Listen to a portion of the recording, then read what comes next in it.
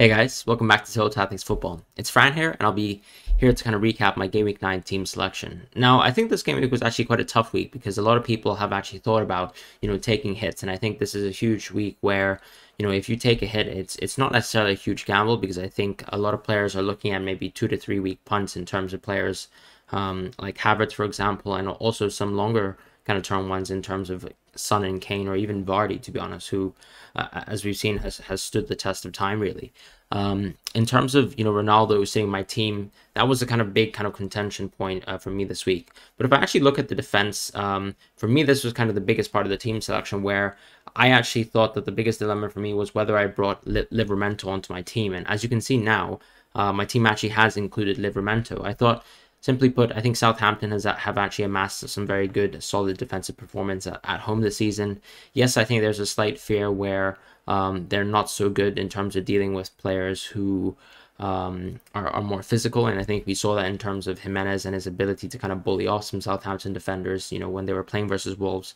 But at the same time, I think, you know, Southampton actually have shown in recent times to actually be a very ball dominant team. And what we've seen uh, with Burnley versus these kind of ball dominant teams is that they really struggle to actually get their players high enough in the field to actually be effective versus them. Yes, they have one chance chance or two, and someone like Cornet has actually seemed to be extremely interesting in terms of actually capitalizing on that and, and, and maybe actually providing Burnley a little bit better of a counter attack. Uh, but for the most part, I still think Southampton have actually the good, good enough dividends to actually get a clean sheet this week, and I think Livramento makes a lot of sense. You have to just be reasonable. Can't just look at you know value. I think over, over the course of the last few weeks, we've seen Livramento has had fantastic kind of point dividends, and it, and it's not really a fluke, right?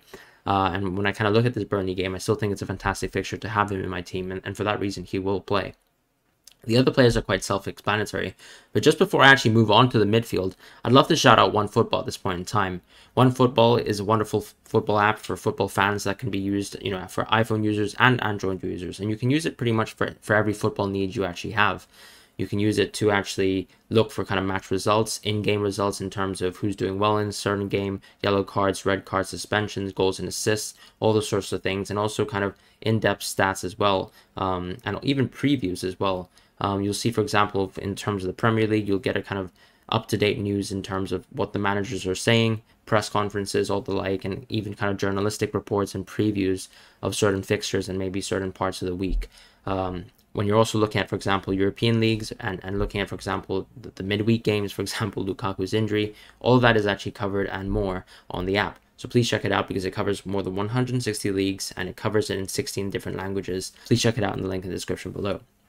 But as I actually move back into my team, I'd like to actually go into my midfield, where I think, of course, there's going to be the most amount of movement this week in terms of um, how many players are actually taking in players in the midfield and, and how my midfield is going to be actually static uh, for this week. I think um, me, I, I, made that decision of going Raphinha actually quite early on in the week, as I explained in my Game Week 8 review video.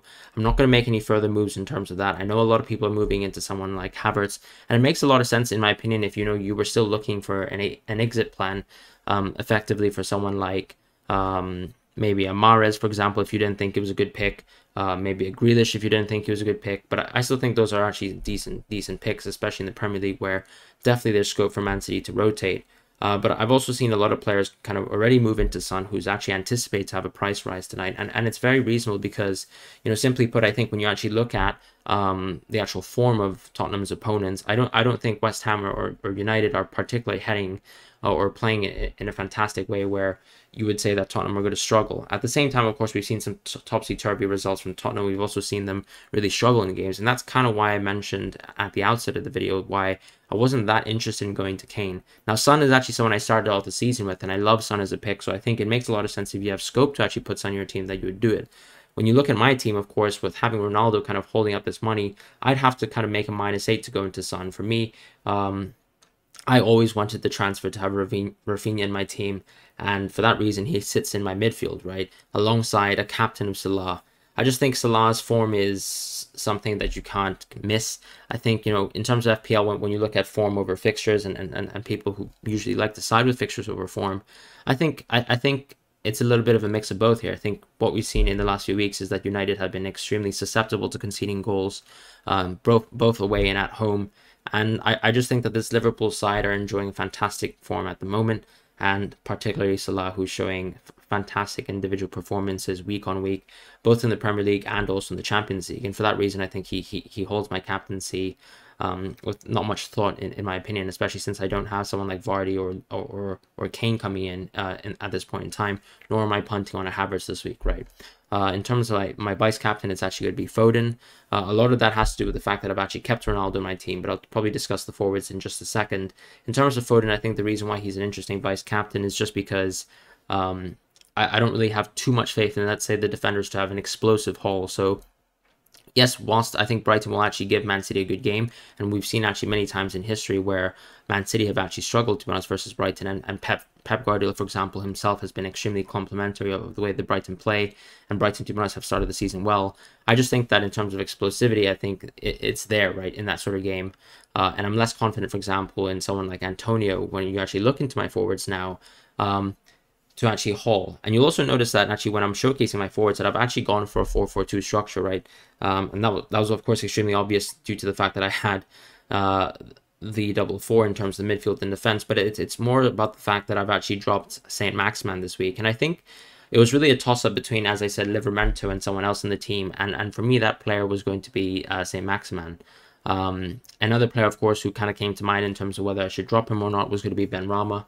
I think it always makes sense to pro- probably play, you know, Antonio over Benrahma on any sort of individual game week because he's probably more likely and more pegged for a haul.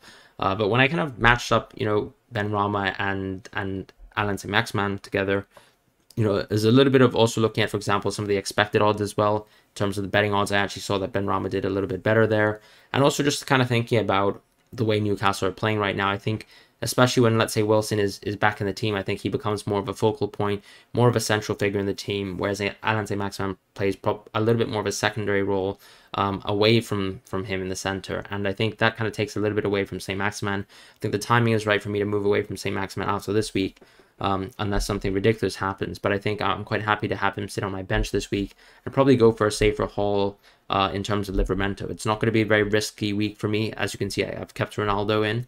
Um, I just think, you know, when I even pair, let's say, Ronaldo and, and Saint-Maximin together, I still think Ronaldo probably has slightly better chance for him to haul because he does have the kind of intangibles in terms of not necessarily being able to completely outplay his opponents, but being being able to actually score at any kind of given opportunity, so long as a chance is presented to him. And I think um, that's a little bit more than what St. Maximin is going to get, especially with how poor Newcastle have been as a general side.